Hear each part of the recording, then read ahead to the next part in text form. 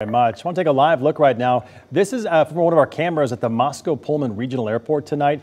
We believe one of these lights right here of this plane up in the air on the right hand side of your screen is the one carrying Bryan Kohberger. He is uh, the suspect accused of murdering the four University of Idaho students. This is an aircraft that we have been tracking across the country all day today. We watched it make several stops in Indiana as well as South Dakota mm -hmm. for refueling and, and whatnot to make sure that um, we knew as much about this aircraft as we could. We found out that it is um, owned by uh, Pennsylvania State Police. This right. is the aircraft, again, that we believe Bryan Kohberger is on as he is being transported now from Pennsylvania back to Idaho to face four first degree murder charges in the deaths of those four University of Idaho students. Yeah, it's interesting. Authorities not commenting on if in fact he is on this aircraft. But as you mentioned, we've been tracking this specific aircraft.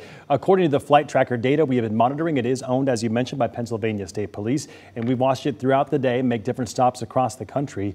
Again, this is all happening because Kohberger decided to waive his right to extradition. That means he's not fighting extradition. He wanted to come back, according to a defense attorney, a public defense defender there in Pennsylvania to essentially see what is inside those court documents that right now remain under seal. That is something that we will also be waiting anxiously to learn tomorrow. Once those documents are unsealed, that has to take place after his first court appearance mm -hmm. in Idaho, which we believe will likely take place tomorrow morning. Of course, KREM 2 will be there. And once those documents are unsealed, we will learn more about how police were able to hone in on Bryan Kohberger as their suspect in this case. Yeah, so what will happen here, a little context right now. He'll land and then be escorted from the airport, taken to the Latah County Jail, will be booked and processed.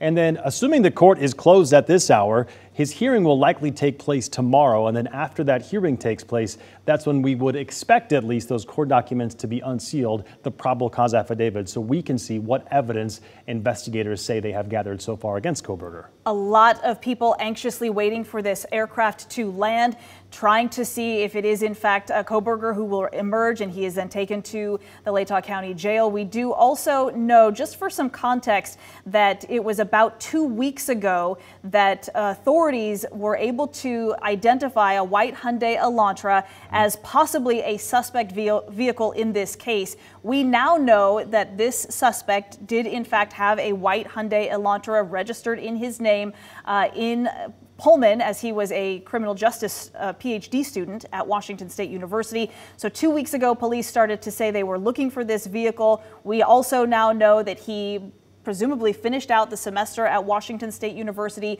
and then at some point made this, started making this trip from Washington all the way across the country to Pennsylvania. We saw two body cam videos where he was traveling with his father from Washington right. to Pennsylvania. 2,000 plus mile trip he was making uh, during the holiday break there. We can see the Pilatus aircraft. It's a prop driven aircraft right here landing, touching down at the Moscow, Moscow Pullman Regional Airport, excuse me. We do know there was a large law enforcement presence there, so we expect this plane to essentially taxi, come to a stop at some point. The individuals on board, again, we believe that Kohberger is on this plane, will deboard the aircraft. They'll then be taken by law enforcement from the airport over to the Lake, County Sheriff's Office, which is the same in the same facility as a jail right there, and that's where Mr. Kohberger will be processed. Again, the murders he is accused of committing happened more than seven weeks ago in Moscow, back in November, on the 13th of November.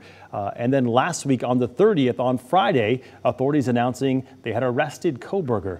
We don't know officially exactly what kind of evidence they've had in this case in order to make an arrest. A lot of people are reporting a lot of different things, citing sources, but officially from Moscow PD tonight, we don't know exactly what evidence they say they have against him, at least right now. And that is because of Idaho state law, which they say prevents them from, mm -hmm. from talking to the media about anything in this case, right. which is why so many people are anxiously awaiting for his first court appearance tomorrow morning here in the state of Idaho, which then allows that probable cause statement to be unsealed and for us to get that first look at what ultimately led them to Kohberger as the suspect um, accused of killing those four University of Idaho students, one of the most high profile cases this area has seen in quite some time. You just don't hear about a quadruple stabbing homicide. Mm -hmm. I spoke with, a, with an expert in, in criminology, in fact, at Washington State University just a week after this happened. And she said, I can't ever remember hearing about a quadruple murder where a knife or an edged weapon, as police described it, being used to kill four people. So this case, of course, has, has gathered national, even international attention with outlets from across the country tonight. They are in Moscow. They have been tracking this flight across the country tonight. And we're, again, waiting to see Mr. Kohberger, we're presuming, on this flight right now. We know it's, this plane is owned by the Pennsylvania State Police. It's been flying across the country since earlier today, starting in Pennsylvania, stopping in Illinois, stopping again in South Dakota, and now finally landing at the Moscow Pullman Regional Airport. You can see ground control right there kind of bringing them in. Uh, at some point, we expect this plane to stop, door to open, and the individuals to get out. And what we know about the suspect currently uh, is he is a 28 year old PhD doctoral student at Washington State University in the criminal justice program. We don't yet know what connection, if there is any connection, to those four murder victims. Um, we don't yet know, you know, what what might have been a motive. That's sure. of course one of the most the big unanswered questions in this case right now. But we do know um, from his past studies that he was a criminal justice student for his entire undergraduate mm -hmm. studies as well as his master's, which he did receive his master's degree at DeSales University in Pennsylvania.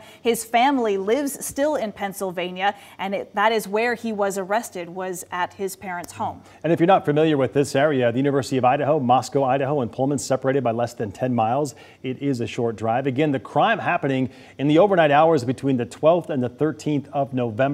At around noon, authorities got a call from another roommate who was inside the home on a cell phone, alerting authorities to the deceased individuals inside. And really, for several weeks, we didn't hear anything about any kind of potential suspect or really any leads. The biggest development came, uh, I think, four or five weeks into this case when they announced they were searching for that white Hyundai. Again, that was a Hyundai Elantra they were searching for. We've seen from body camera footage that troopers and a deputy in Indiana both stopped that Hyundai on December 15th in Indiana for what they said the violation they stopped him for was following too closely. Uh, that was two weeks before he was eventually arrested on the 30th. So there are a lot of developments in this case. We're certainly trying to keep them all straight. We're going to stick with this shot to see if we can see the moment uh, that the individuals get off this airplane. That's law enforcement right there. You can see standing by, waiting for them to get off of the plane. Oh, here they are. They're walking towards the aircraft right now. So we'll stick with this and see what we can see. It appears the door may be on the opposite side of the aircraft from what we can see right now. But again, this flight, it's been in the air since early this morning, leaving Pennsylvania, making a couple stops across the nation before just landing moments ago at the Moscow Pullman Regional Airport. And we do know all day long there has been an incredibly heavy police presence there at the airport, also at the jail, which is where we know mm-hmm. he will be transported from the airport to the jail. We've also learned from the sheriff that they will do an initial assessment of the inmate to figure out where exactly he will be housed and under mm -hmm. what conditions. We know that at um, in Pennsylvania, he was under suicide watch. He was under constant supervision to make sure that he would be able to be assessed and that he would be able to be brought back to Idaho to face charges. So right now, we know that he left Pennsylvania this morning in Monroe County, which is where his family currently lives. And right now, it looks as though he has just landed. Those authorities anxiously awaiting the ability to bring him back to face those criminal charges. It has been a very lengthy investigation for the last seven weeks, and they have been under a lot of pressure and a lot of scrutiny mm -hmm. from people, not just in the Moscow Pullman community, but way beyond. Let's take this shot full if we can of the plane, because I believe we can see him right there, there in, in the red jumpsuit right there. That's what he was wearing yesterday in court, the red and it appears he's being escorted by deputies to a car right there. Bryan Kohberger, the man accused of killing four University of Idaho students, now on the ground right now at the Moscow Pullman Regional Airport. Appears he's been loading into a police SUV. Again, from here, he'll be taken over to the Latah County Jail where he'll be processed. And we would assume that he'll face a judge for his initial arraignment tomorrow, sometime tomorrow, because again, it's 6.30 in the evening. The court there closes, I believe, at 4.30. So the crews have already gone home from the courthouse. So that hearing will likely take place tomorrow. And then after that hearing, at some point after that, we would expect to uh, have those probable cause documents unsealed so we'll get a look finally at the evidence they say they have in this case. A lot of different jurisdictional agencies have been involved in this. We know obviously Idaho State Police here locally, the Moscow Police. We also know the FBI was involved and now Pennsylvania State Police also with the task of transporting him back to Idaho to make this exchange so that he can face those four uh, first degree murder charges as well as at least one additional charge of burglary with the intent to commit a felony. Um, and of course, we again are waiting for those documents to be unsealed in the morning after he is able to have his first court appearance in the state of Idaho. Because of Idaho state law, that is when those documents can be unsealed. And we will learn more about the evidence that Moscow police and the FBI and Idaho State Police have been able to put together that linked this suspect to those four murders uh, that happened seven weeks ago now. You're watching live footage. If you're just joining us right now, the plane carrying Bryan Kohberger, the man accused of killing four University of Idaho students, just landed within the past few minutes at the Moscow Re uh, Pullman Regional Airport. Mr. Kohberger deboarded the plane. He's being loaded into the back of what appears to be a police SUV right now, or a pickup truck perhaps. And from here, he'll be taken to the Latah County Jail to be processed. But really just a remarkable turn of events in the last really less than week. It's been seven weeks since the murders, nothing about a suspect. Then on Friday, all of a sudden, uh, police announcing they do have a suspect. They had arrested that person, Bryan Kohberger, 28 years old. Again, a PhD criminology student at Washington State University, just eight miles away from where these murders allegedly took place. We also know that as Moscow police were very tight-lipped about this investigation, at some points in you know that, that seven-week period, they were criticized. Perhaps people thinking sure. that they weren't up to the task, didn't weren't ready for a case of this magnitude.